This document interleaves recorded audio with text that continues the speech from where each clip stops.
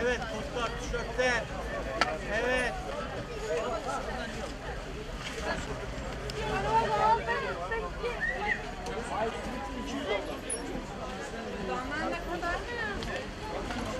Ayarlayamaz lan.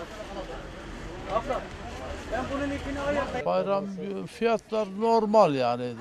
Biraz da işler düşüyor tabii eskiye göre. Şimdi deprem bölgesi olduğuna göre işler düşük ama yine de şükür diyelim. Değişiyor 250'den başlıyor 450'ye kadar ayakkabı var. Peki vatandaş alım gücü nasıl? Alım gücü alan alıyor yani. Almayan da belli zaten ama genellikle alan e, alıyor sıkıntı yok yani. Çok şükür hamdolsun idare ediyoruz. Olana da şükür. Buna da şükür. Hayattayız. Sağlığımız yerinde. Kodlar ben e, baya kampanyalı bir fiyattan satıyorum. 200 liraya satıyorum. Mağazamın elindeki mallarını bitirmek için uğraşıyorum. E, çünkü bayramdan sonra bize konteyner vermediler. Sayın Valime 5-6 keredir sesleniyorum. Eğer sesimi duyuyorsa ben buradayım. İsmim Bedrettin Akdemir. Sayın Valimden ekmeğimi eve götürebilmek için iyi bir konteyner istiyorum. Varsa versin yoksa Malatya'yı terk edeceğiz. İnşallah 4-5 gün sonra. Yine kodlar 200 liraya buyurun. Maliyet yine kodlar 200 liraya. Telefon mu?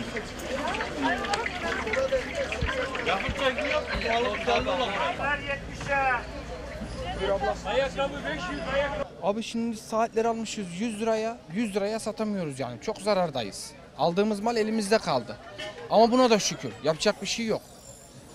Allah devletimizi zeval vermesin. 70'e, kemerler 70'e. Ha yoğunluk bayram ta- teşkilatı. Valla Allah Allah nasip ederse işte ekmek paramızı kazanacağız.